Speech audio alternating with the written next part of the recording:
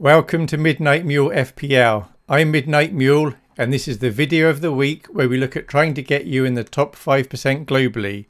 And you do that by following these very simple to follow instructions. I'll start by going over how game week 17 went and then we look at game week 18. We start with the game week 17 bankers. All of you will have these four players. That's Ward, Bueno, Andreas and Haaland. The first three of those were on the bench. Haaland got 13 points in game week 17. He was wearing the old Mule Santa hat, so he gets doubled to 26 points. So bankers, 26 points. You would have had one of these goalkeepers, Ederson, Pope, Ramsdale, Kepa. Their scores were 2, 6, 3 and 9. So that's an average of 5, which is okay. We take a 5.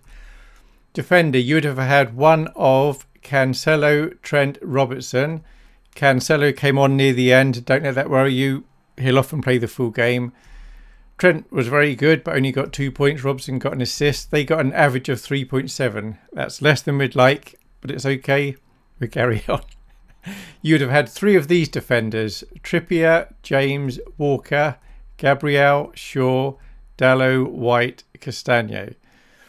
Now, these largely did not very well. And as you can see, Walker and Dalot didn't even play. So somebody would have come off your bench and it would have been Andreas. I realised I've put Andreas in both of these slots, but I thought it's pretty unlikely somebody following this chose those two players. So that's why I think it's okay for me to do that. So you would have got at least four points, an average of 12, maximum of 23. So not great, but we push on you'd have had one of these midfielders Salah, De Bruyne, Son, Fernandez, Sterling. Salah did well. Bruyne was good on the pitch. He didn't actually get any more than two points, but he was still good. I don't actually remember the Tottenham game. I know I watched it on telly, but I don't actually remember what happened. But I wouldn't worry about it. If you've got Son, you can keep him. If he's still bad in a few weeks' time, then we'll look at moving him on. The Man United game, I thought Fernandez was brilliant. He only got three points. That's because he kept passing to Antony, and Antony was woeful, in my opinion. So I have Fernandez in my own team, and I'm definitely going to be keeping him for now. And then Sterling got six points. So these got an average of five, which is a little bit disappointing, but okay.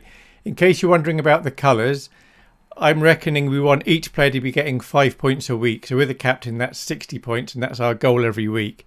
So blue means we hit the average. See, the average has five. Fewer than five points, the numbers are red. More than five, the numbers are green. You would have had one of these midfielders Foden, Maddison, Saka, Mount, Trossard. And they scored one, didn't play, nine, ten, and two. So again, I'm replacing Maddison with Andreas. If you already had Andreas coming in for one of your other players, then of course you've had the next bench warmer coming on. So in total, these got an average of five so we're kind of heading for our 60 points by averaging five. We've got quite a few average scores going on here.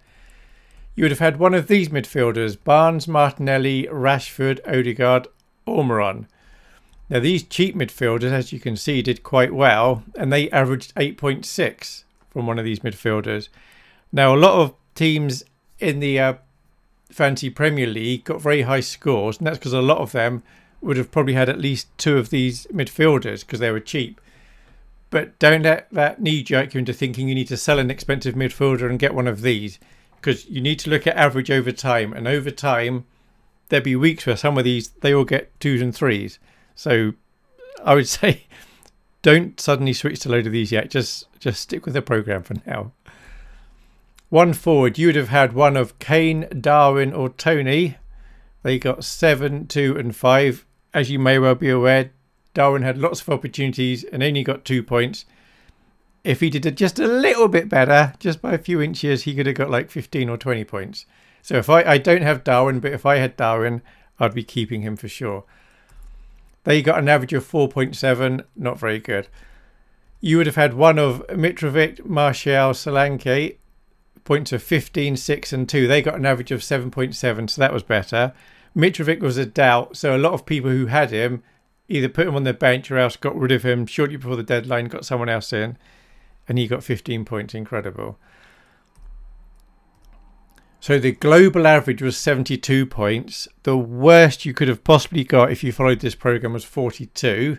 The average was 77.7 and the maximum was 124. So hopefully you can feel like you've done all right this week. We we only need to do roughly average for most weeks. We can have one or two bad weeks, then two one or two really good weeks, and we should be all right. So I'm still feeling fine about this.